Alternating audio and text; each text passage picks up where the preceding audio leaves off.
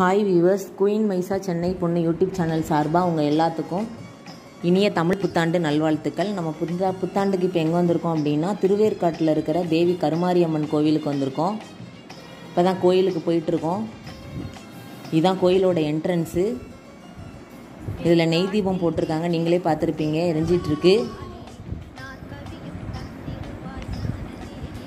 இதில் வந்து நம்மளுக்கு லெஃப்ட் சைடில் பிள்ளையாரும் ரைட் சைடில் முருகர் சிலையும் வச்சுருக்காங்க. ஆஸ் யூஷுவல் எல்லா கோயிலையும் இருக்கிற மாதிரி. இதில் நம்ம உள்ளே போனோம் அப்படின்னா கொடிமரம் இருக்குது கொடிமரத்துக்கு அப்படியே ரைட்டில் பார்த்தீங்க அப்படின்னா அரச மரத்துக்கு கீழே பிள்ளையார் சிலை இருக்குது பிள்ளையார் சிலையை வந்து வெள்ளி கவசத்தால் அலங்காரம் பண்ணியிருக்காங்க. உங்களுக்கு வீடியோவில் காட்டுறோம் நீங்கள் பார்ப்பீங்க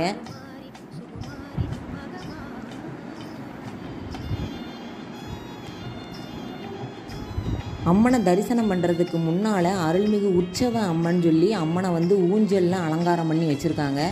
ரொம்ப அழகாக இருக்குது இப்போ வந்து லைனில் வெயிட் பண்ணுறோம் அம்மனை தரிசனம் பண்ணுறதுக்காக மொபைல் எடுத்துகிட்டு போகக்கூடாதுன்னு சொல்லிட்டாங்க. அதனால் கருவறையை எடுக்க முடியல. உங்களுக்கு யூடியூப்பில் காட்ட முடியல. நம்ம திருவேற்காடு அம்மன் கோயிலுக்கு போகிறதுக்கு ரூட் வந்து உங்களுக்கு நான் சொல்லிடுறேன். மன்னிவாக்கம் ஜங்ஷன்லேருந்து ஆவடிக்கு ஆவடிக்கு போகிறோம் அதிலேருந்து அவுட்டர் ரிங் ரோடு வழியாக திருமுடிவாக்கம் வரும். அங்கேருந்து டோல்கேட்டை கிராஸ் பண்ணி ஒரு நாலு கிலோமீட்டரில் குன்றத்தூர் இருக்குது குன்றத்தூர்லேருந்து ஒரு எயிட் கிலோமீட்டரில் பூனமல்லி ஜங்ஷன் வரும்.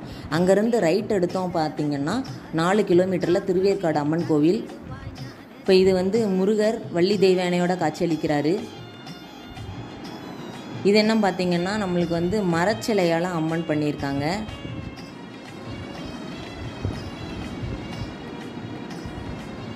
நல்லா அலங்காரம் பண்ணியிருக்காங்க. மேலே பார்த்தீங்கன்னா உங்களுக்கு தெரியும் அருள்மிகு மரச்சிலை அம்மன் அப்படின்னு இருக்கும். நம் முன்னமே ஃப்ரெண்டில் சொன்ன மாதிரி இதுதான் அந்த அரச மரம். இந்த மரத்துக்கு கீழே தான் கணபதி இருக்கார். இப்போ சாமி கும்பிட்டு வெளியே வந்துட்டோம். மகிஷா விளையாடிட்டு இருக்கா. இது வரைக்கும் உள்ள வீடியோவில் வந்து நீங்கள் எங்களை பார்த்துருக்க மாட்டீங்க.